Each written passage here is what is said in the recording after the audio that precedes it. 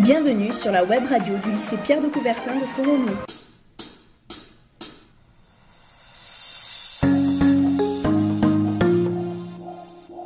Bonjour, c'est Alexia, votre animatrice. Aujourd'hui, Amandine et Elsa nous parleront des faits actuels.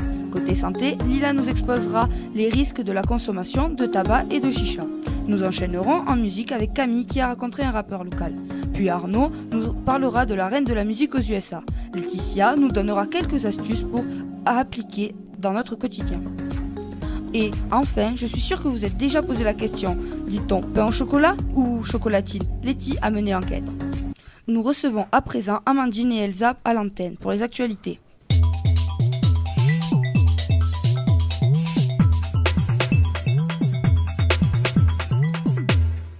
Bonjour à vous deux. Bonjour Alexia. Bonjour à tous, voici les derniers titres. Présidentielle, le triomphe de François Fillon. Il remporte la primaire avec 66,5% des votes face à Alain Juppé au second tour. L'ancien Premier ministre sera donc le candidat de la droite et du centre de la présidentielle qui débute le 23 avril 2017.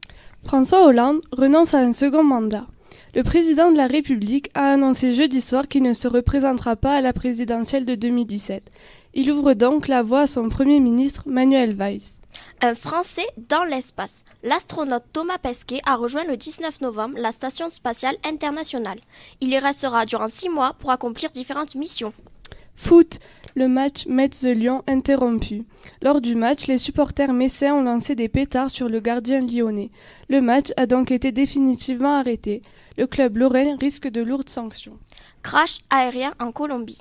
L'accident a fait 71 morts, dont 19 footballeurs d'une équipe brésilienne. L'avion manquait de carburant. Seuls 6 membres de l'équipage et passagers ont survécu. 30e édition du Téléthon.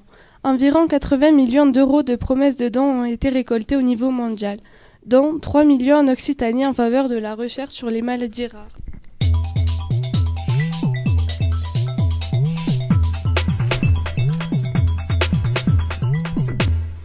Merci les filles, nous enchaînons de suite avec la rubrique santé. Lila, bonjour. Vous allez nous parler des risques de l'alcool et de, chicha, n'est-ce pas? Tout à fait, mais également des effets du cannabis sur la santé. Au sujet du tabac, la France compte 16 millions de fumeurs, dont 40% de fumeurs réguliers chez les 16-25 ans. C'est connu, les cigarettes contiennent des produits cancérigènes. Tous les organes peuvent être touchés par le dépôt de ces substances. 30% des cancers sont dus à la consommation de tabac. Les artères du cœur se bougent, des maladies respiratoires peuvent apparaître. Le tabac favorise aussi la fertilité. Côté physique, la peau s'altère, car il y a dégradation des fibres élastiques. Les dents jaunissent, s'abîment. Et aux non-fumeurs, attention, le tabagisme de votre entourage nuit également à votre santé. Au chicha. Petit rappel, la chicha est une pipe à eau dans laquelle on introduit un mélange de tabac. Vous ne le saviez peut-être pas, mais la chicha est bien plus nocive pour la santé que le tabac. Une séance de chicha de 20 à 80 minutes équivaut à la consommation de 100 cigarettes. Donc on retiendra que 50 bouffées de narguilé équivalent à 40 cigarettes. Le tabagisme passif aussi est bien plus important en raison de l'abondance de fumée. Les maladies dues à la chicha sont similaires à celles causées par la cigarette. Donc le cannabis, ou chanvre indien, est consommé par 3,9 millions de Français. C'est le produit psychoactif qui agit sur le cerveau le plus consommé chez les jeunes en France. Pourtant, il s'agit bien d'une drogue, car il crée une dépendance physique et psychologique. Sa consommation affecte les réflexes, entraîne des troubles de l'attention, ainsi que des difficultés d'insertion sociale. Des troubles neurologiques irréversibles peuvent alors apparaître, tels la perte de mémoire, avec une baisse des performances intellectuelles, et un haut risque de développer des maladies mentales. Il contient bien plus de gaz carbonique que le tabac. Fumer du cannabis serait 20 fois plus dangereux pour la santé. Le risque de cancer pour un fumeur régulier de cannabis est multiplié par 5. Merci pour ces éclaircissements. Dans ce lycée aux multiples talents, Camille est allée à la rencontre d'un jeune rappeur. En effet, Alexia, cet élève de seconde est connu dans notre lycée grâce à sa pratique du rap. Il s'appelle Mathéo et rappe sous le pseudonyme de Nairim. Nous l'avons rencontré pour vous. Bonjour Mathéo, comment vas-tu? Ça va, merci. Donc depuis quand fais-tu du rap? Je sais pas vraiment quand j'ai commencé, mais euh, depuis tout petit, en vrai, c'est plus mon frère qui m'a lancé dedans avec la musique. Qu'est-ce qui t'a amené à faire du rap?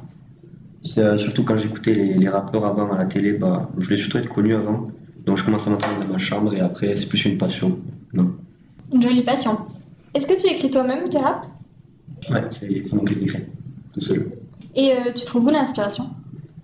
Je la trouve pas vraiment, ça peut venir euh, comme ça, genre je peux écrire un texte entier en une heure, comme je peux rien écrire pendant trois mois, ça c'est vraiment le feeling. Et tu fais également du beatbox aussi? Non? J'en fais, ouais, j'en fais vraiment du beatbox si euh, je m'entraîne. T'as une petite démo? Ouais.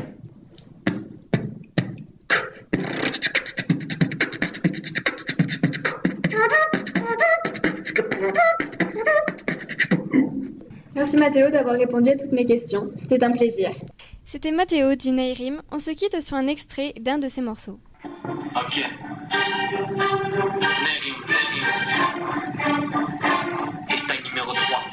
One shot, one shot, one shot. Merci du follow. Ok. Dieu. Yeah. Ok, ok, ok. Pendant que tu jactes avec tes potes je gratte pour que ma feuille sature et j'évite les satires. Ouais, ça, ça me tue. Tu sens que ça s'attire, alors ça tire sur la corde et puis ça tire et ça se tue. Ça t'étue, t'as pas à tester quand t'es tard qui se couche. Merci pour cette interview très enrichissante. Toujours côté musique, Arnaud nous dévoile tout sur le dernier album de l'une des stars les plus connues autour du globe. Lemonade, le nouvel album de Beyoncé, arrive bientôt en France. Cet album mélange reggae, country, ballade romantique et bien d'autres styles musicaux. Cet album est très personnel. Elle a mis en musique ses émotions, notamment la colère, la tristesse et le mépris qu'elle a ressenti suite aux infidélités de son mari Jay-Z.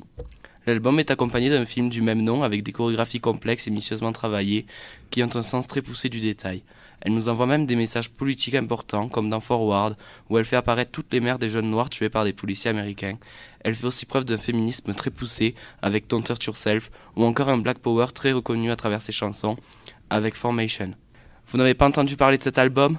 Mais c'est normal. Ce dernier est sorti depuis 8 mois aux États-Unis via la plateforme Tidal, concurrent américain de Spotify. En France, il vous faudra attendre jusqu'au 6 mai prochain pour l'accueillir en grande surface. Si comme moi vous êtes trop impatient, vous pouvez toujours le commander sur des sites de vente en ligne. Et maintenant un petit extrait de Freedom, chanson de Lemonade.